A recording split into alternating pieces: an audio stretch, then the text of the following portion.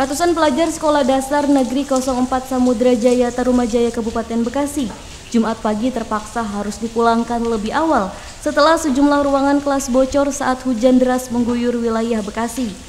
Selain ruangan basah, konstruksi bangunan yang lapuk juga membuat pihak sekolah memulangkan mereka lebih awal demi keselamatan jiwa para pelajar.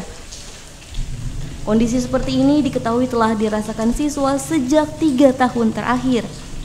Sebagian kursi terlihat basah, beberapa lantai bahkan terkelupas hingga terlihat kumuh setelah diguyur hujan deras.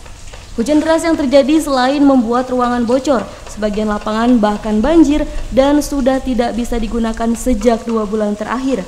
Pihak sekolah mengaku kondisi ini selalu terjadi saat hujan datang.